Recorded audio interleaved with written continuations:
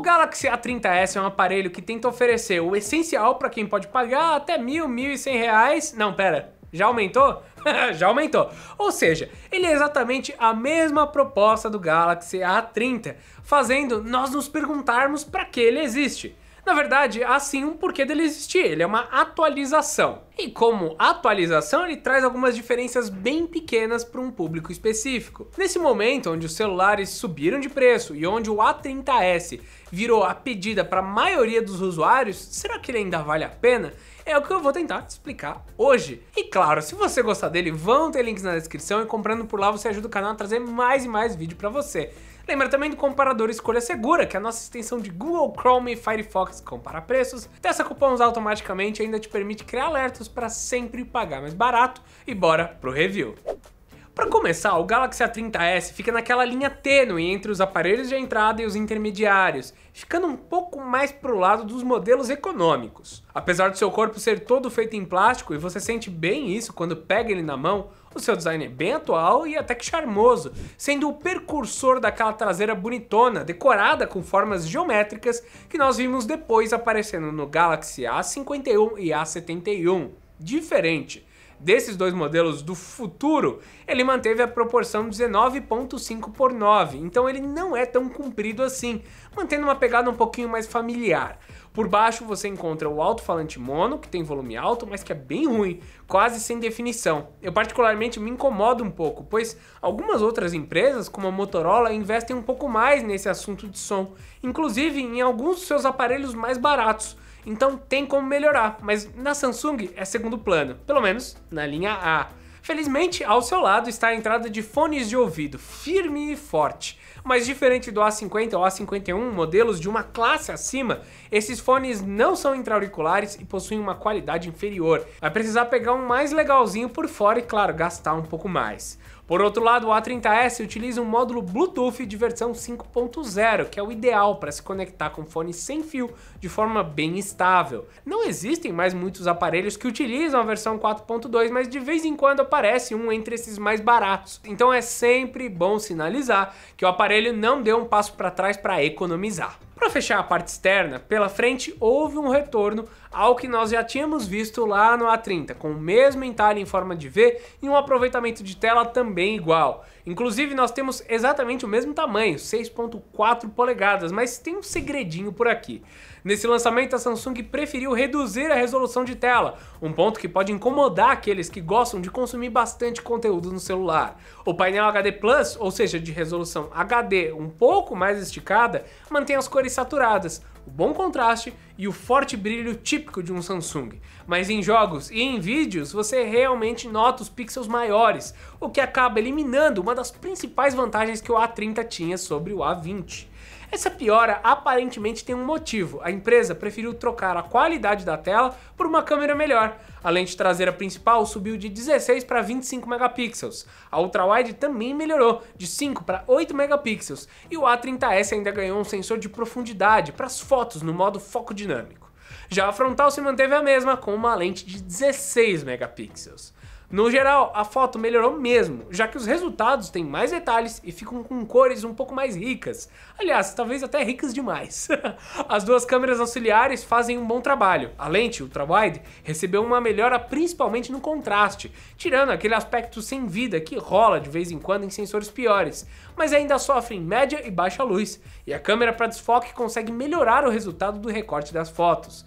Isso não quer dizer que o A30s é incrível, mas que em comparação com as fotos do A30 e outros aparelhos de preço similar, ele fica um tequinho na frente. Infelizmente, o A30s está numa faixa de preço que antes era ocupada pelo A50, o modelo que esse sim subiu o nível quando a gente falava em câmera.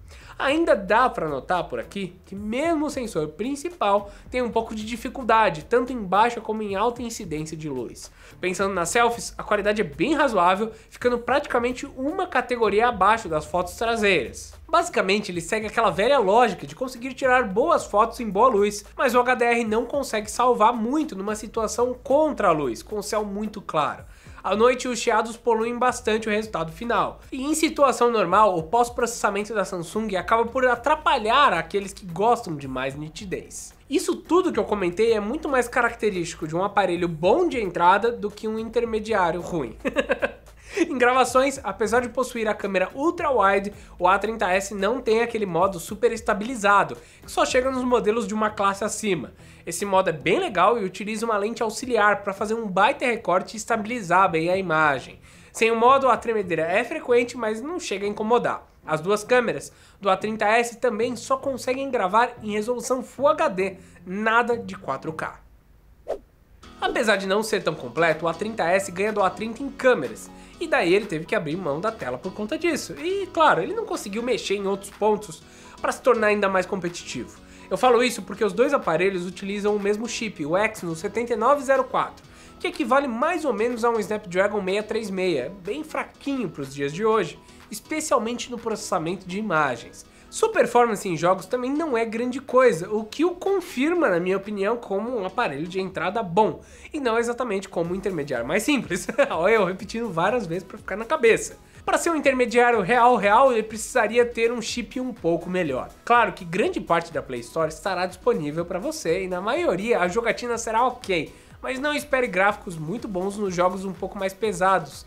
E os realmente exigentes não vão nem abrir direito. Por outro lado, apesar da bateria também ter a carga padrão de 2020, que são o tal dos 4.000 mAh, o desempenho mais baixo combinado com a resolução menor de tela fazem com que ele termine o dia com um pouco mais de carga do que outros equipamentos. Enquanto o Teteu tentava dropar uma de Valorant, o A30S aguentou 11 horas de Twitch no brilho médio. Foram mais ou menos umas duas horas a mais do que outros aparelhos com o mesmo número de capacidade, mas com processadores mais demandantes. Isso deixa quase umas 4, 5 horas na frente de um topo de linha, que geralmente tem telas Quad HD e processadores quase 3 a 4 vezes mais potentes. Aí não se preocupem com a saúde do celular vendo as streamings do Valorant. O TTO só os deixou estressados por dois dias. Foi super rápido. Não, não foi. O A30S também conseguiu ficar um pouco à frente do próprio A30 por conta da resolução reduzida da tela, mas na hora de recarregar, apesar da curva ser um pouquinho parecida, ele precisou de um tempo a mais na tomada, praticamente 20 minutos, por algum motivo que a gente realmente não entende, pois o chip e o carregador de 15 watts são exatamente iguais. Se for software, pode ser que você tenha alguma diferença numa futura atualização. Falando em sistema, o A30S recebeu em abril a One UI 2.0 junto do Android 10. Essa não é a versão mais atual da interface da Samsung, existe também a One UI 2.1, então não fica claro se ele vai parar na 2.0 ou se vai para 2.1. Fora isso, o sistema aqui flui bem, apesar de ser um pouco mais pesado do que a versão anterior, e eu também não senti falta de nenhuma das novas funções. Além disso, eu já comentei que ele tem o Bluetooth 5.0, mas ele também é compatível com a rede Wi-Fi 5 GHz e o NFC, que geralmente chega para modelos mais caros. Ah, e ele também tem todos os sensores de navegação, então o GPS flui super bem.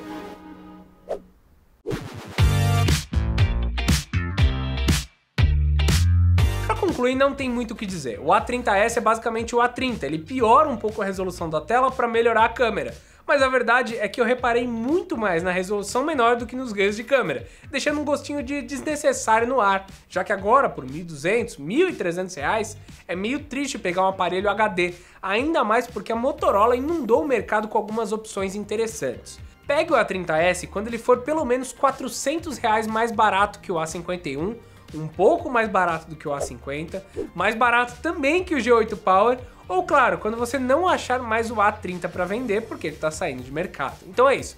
Se você gostou, deixa um comentário, deixa um like e não se esquece de se inscrever aqui para receber mais conteúdo de celular, guia de compra e tecnologia. Então é isso, meus amigos, e até mais!